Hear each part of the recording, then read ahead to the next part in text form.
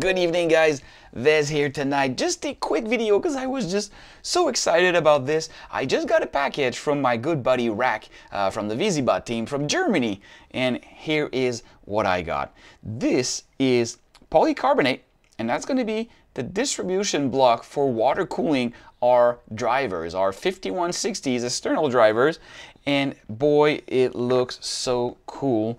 This is the distro plate um, that goes on top of it. So water going to come here and it's going to distribute inline. All those driver will be cooled down and each individual drivers will be cooled by these little aluminum blocks. And there's going to be an O-ring at the at the center there and if you look at that this way you can see that water is going to come here and out on this guy and on the top plate here is going to be our distribution block. You have the boat fittings on each side so in and out or out or in or whatever the order you like it's gonna be good.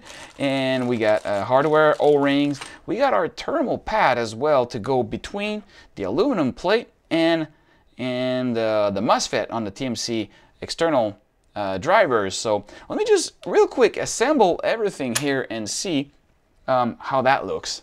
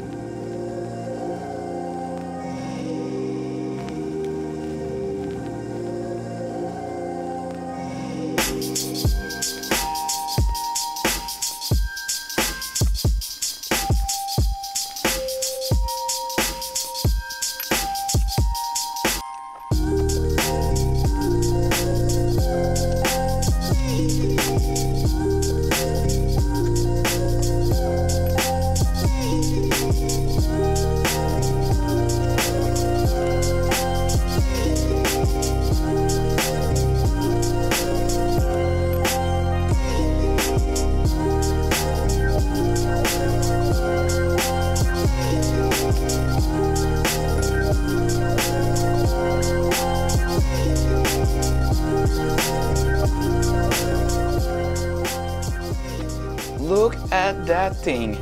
It is absolutely stunning.